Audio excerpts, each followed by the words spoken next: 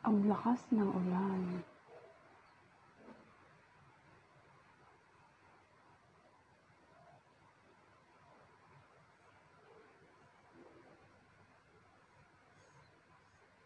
Pati kawayan.